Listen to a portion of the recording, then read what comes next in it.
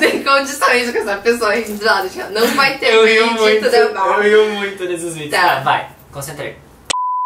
E aí, gente, aqui é a Anaí. E aqui é o Felipe. E hoje, finalmente, né, a gente tá aqui pra gravar vídeos sobre CP pra vocês. Aquela época do ano tá chegando, né, e a gente, né, como ex-cast member, gente, depois que você trabalha na Disney, ó, não tem mais caminho de volta, né. Pra quem não conhece a gente, na verdade, eu fui CP 17 e 18, eu era Attractions no Fantasmic. Eu era. Eu fui CP 18 19, eu era Attractions no Hollywood Studios também, só que na Star Wars Launch Bay, que é uma parte do Star Wars. E, enfim, os dois viveram experiências incríveis, então a gente só quer que mais gente tenha a oportunidade de ver isso também. E eu acho que a gente escolheu esse vídeo de hoje, esse tema, porque fala muito disso do que a gente viveu e eu acho que nada melhor do que falar sobre tudo isso é, que a gente viveu lá pra começar a voltar com esses vídeos e pra dar aquele gás pra vocês que vão tentar o processo desse ano.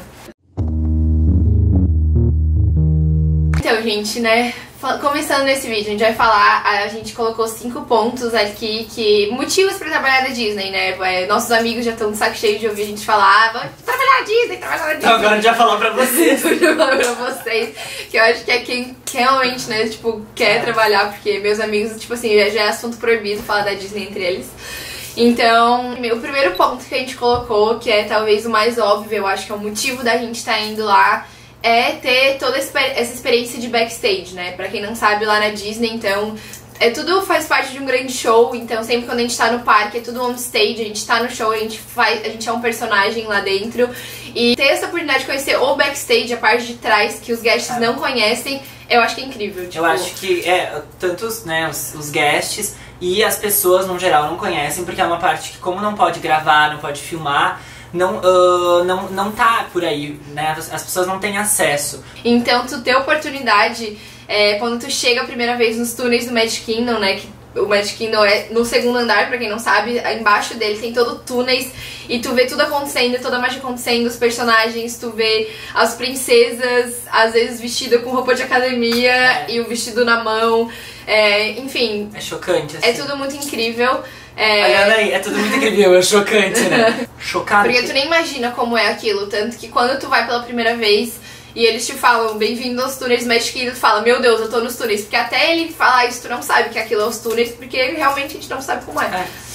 Então eu acho que ter toda essa experiência e fazer parte e realmente aprender como a Disney faz aquela mágica acontecer, sabe? Eu acho que a gente aprende muito disso, então como tudo funciona, como eles são referência número um em atendimento cliente, enfim, a gente aprende muita coisa. É, Disney University, as aulas que a gente tem lá, os treinamentos, isso com certeza só vai ter lá e é uma experiência E que única. pra mágica acontecer, né, e que pra que todo mundo tenha um momento feliz e que seu sonho aconteça, é muito detalhe que tá por trás, né? Então, é- isso eu acho muito incrível, assim, é muita coisa do nosso, desde o nosso treinamento até todos os nossos dias de trabalho, a gente tem que ficar muito atento a vários detalhes. E tu tem que também aprender a fazer tudo com muito profissionalismo, mas muito amor junto, né? Pra que isso se misture e vire uma coisa muito legal pra, pra quem vai, vai na Disney. Então, eu acho que, enfim, falando, eu acho que é isso, basicamente. Eu acho que é ser parte de toda a magia Disney. É, então, número 2, é, a gente colocou viver a vida americana mesmo, né? É, essa rotina americana, a gente, a gente fala muito assim porque tu realmente vai ficar imerso numa experiência nova e tu vai viver aquilo diariamente, assim. Então tu tá trabalhando nos Estados Unidos, tu tá vivendo lá, tu tá morando numa, né, numa casa americana. Então acho que tudo isso te coloca numa experiência muito única, de uma imersão muito profunda, assim, sabe? E já acho que linkando, a gente vai colocar aqui como número 3, que é viver nos condomínios da Disney. É. Pensa, eu acho É, isso a coisa mais incrível.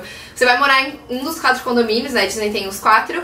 E é um condomínio que tem 40 prédios, com 12 apartamentos cada um, com 6 pessoas em cada. Então já calcula aí mais ou menos quanto dá é, de pessoas que é mais ou menos todo mundo da mesma idade. Então todo mundo ali, tipo, de 18 a 25, eu diria que a maioria sempre tem pessoal mais velho, mas só, tipo, pessoal perto da mesma idade do mundo inteiro. Então tem É, gente se de sente- todas as nacionalidades. Você desce o ponto de ônibus, tem gente da França, da Alemanha, da China, Nova Sim. Zelândia, da, do Marrocos.